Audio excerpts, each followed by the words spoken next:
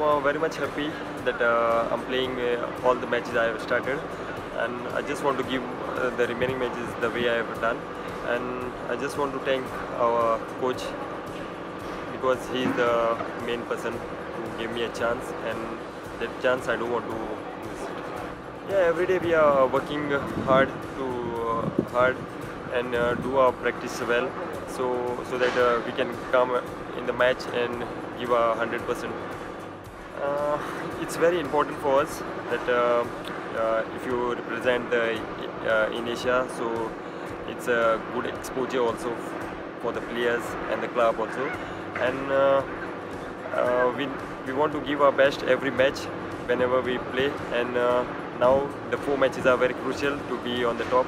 And I think we are doing well, and uh, we want to do well and go on top of the table and uh, take that uh, AFC spot. Uh, tomorrow the match will be a beautiful uh, match because uh, we we FC Goa and Odisha the playing style is similar and uh, and the people will love to watch uh, tomorrow's match because they also love to keep the possession. We are also up to that keeping the ball position. So yeah, and we are also excited to play tomorrow.